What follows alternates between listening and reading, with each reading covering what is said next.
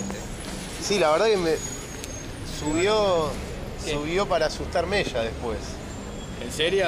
¿Y no te acordás que no salió del costado del ascensor? Sí, sí, sí, para, yo la vi así, yo vi la jugada cuando te miró dijo, te estaba buscando a vos, te, como te, te, ca- te casó, boludo, te casó. No sé Si si. tenía un arma y quería matarte, te mataba. ¿Entendés?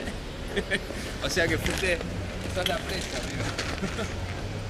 Yo No, no sé. lugar me dejaría No, me- me rápidamente. Si vos no me lo decías, yo pensaba que yo estaba loco, pero me pareció que me tiró onda, no sé vos. Sí, a mí me parece bien. Sí, Pero bueno. lo vas a tener que comprobar.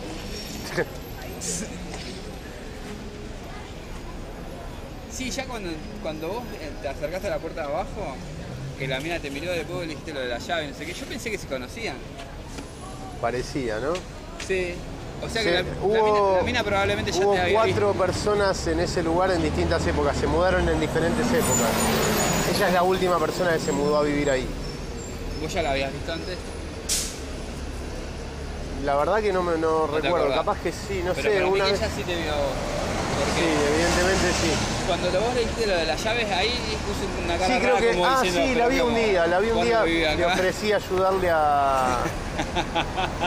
Sí, no, ni me acordaba, boludo. Un día la vi y le ofrecí ayudarla a. a hacer la mudanza. Ah, mirá. Me olvido, boludo, qué sé yo, no sé. No, lo que ¿Sabés con la cantidad de gente que hablo por día? Lo que me hace reír es que ni había llegado a mudarse y ya la estabas ayudando.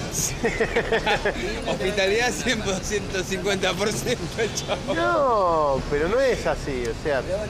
No, me imagino que fue por otros motivos que más que ayudarla a mudarse. Yo estaba ahí, boludo. No sé. Otra vez. Y estaba yo ahí, ¿qué iba a hacer?